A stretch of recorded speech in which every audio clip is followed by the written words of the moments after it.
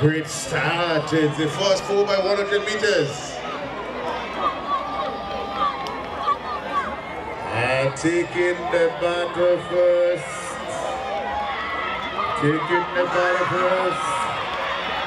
Anglican taking the. Andrew Methodist. Having the battle and running hard on the inside there. Look at that little green goes.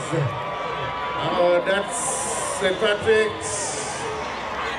It's still St. Andrew's Methodist starring down the back. Speedzone is there. River Sallee is also there on the inside, but keep eyes on the track. The small ladies, it's still St. Andrew's Methodist taking the battle and gone. Here comes Speedzone. Here comes Speed Zone. River Sallee is there also. What a run. St. Andrew's Methodist. She's Speedzone and River Sallee finishing